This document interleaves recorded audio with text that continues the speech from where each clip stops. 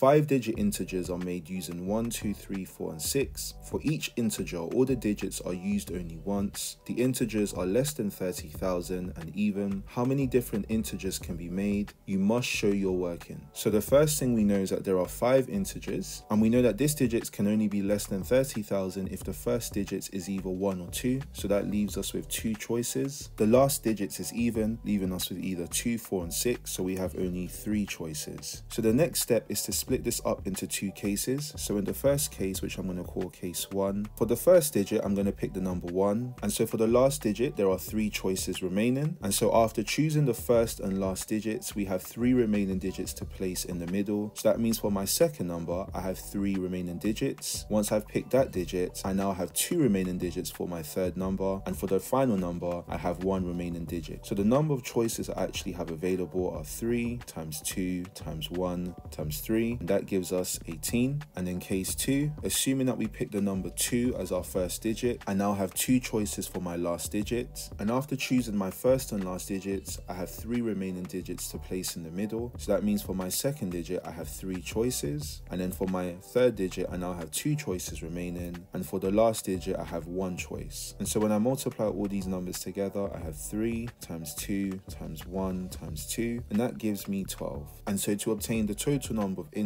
I need to add these two values. So 18 plus 12 gives us 30. So my final answer is 30.